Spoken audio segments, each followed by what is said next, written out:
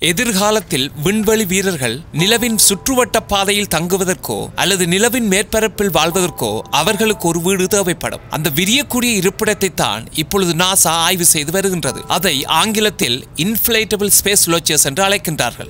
NASA அதிகாரிகளும் முன்னாள் விண்வெளி வீரர்களும் ஐந்து நிறுவனங்களால் கொடுக்கப்பட்ட மாதிரிகளை ஆய்வு செய்து வருகின்றார்கள். இதன் தெரிவுகள் அமெரிக்க விண்வெளி நிறுவனமான நாசா அது திட்டமிட்டுள்ள ஆய்வு நடவடிக்கையின் பொழுது எவ்வாறு விண்வெளி வீரர்கள் நிலவின் வட்டப்பாதையில் தங்கியிருந்து நிலவுக்கு செல்வதற்கும் நிலவில் எவ்வாறு ஆய்வு செய்ய முடியும் என்பதையும் தெளிவாக அறிந்து கொள்ள முடியும்.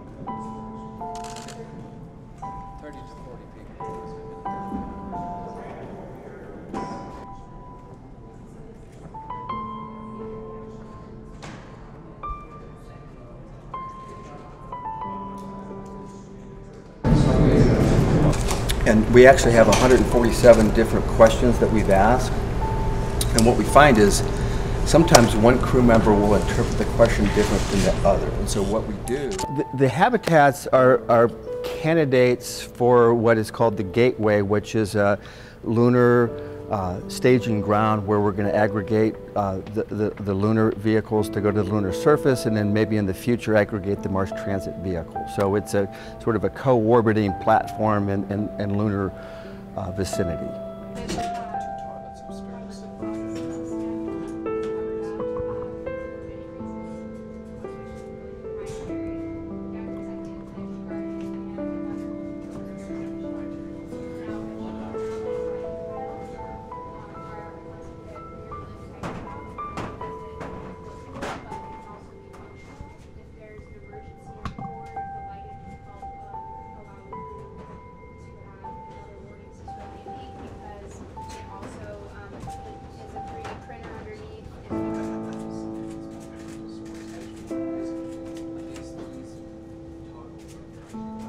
நாசாவின் விண்வெளி வீரர் மைக் கியர்ன்ஹார்ட் தெரிவிக்கையில் பல நிறுவனங்களால் தயாரிக்கப்பட்ட இந்த விரியக்கூடிய மாதிரிகளை ஆய்வு செய்வதன் முழு நோக்கமே எங்களுக்கு இவற்றில் எதை பிடித்திருக்கின்றது எதை பிடிக்கவில்லை என்பதை அறிந்து கொள்வதற்கு என்று கூறினார்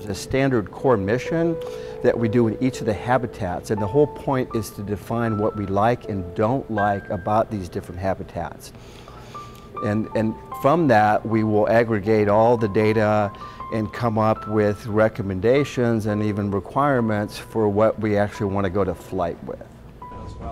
அமெரிக்க துணை ஜனாதிபதி மைக் பென்ஸ் அவர்கள் கடந்த மார்ச் மாதத்தில் நாசாவை இரண்டாயிரத்தி இருபத்தி நாலில் அமெரிக்க விண்வெளி வீரர்கள் நிலவில் தரையிறங்க வேண்டும் என்று கூறியிருந்தார் அதன் காரணமாக நாசா இப்பொழுது வேகமாக தனது ஆர்டிமஸ் என்று அழைக்கப்படும் முயற்சிக்கு தனியாரால் தயாரிக்கப்பட்ட நிலவில் வசிக்கும் மனைகளை ஆய்வு செய்து வருகின்றது.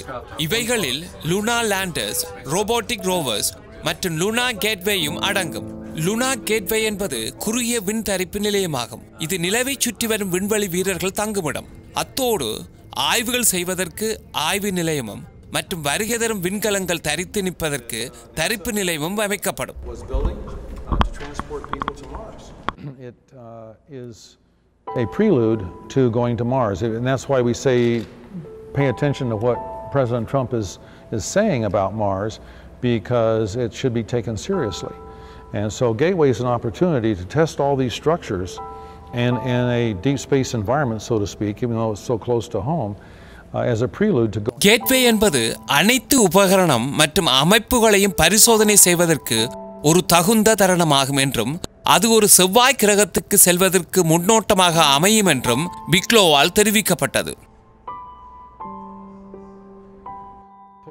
we think that for the rest of this century, this the expandable architectures is where it's at, not in the aluminum cans.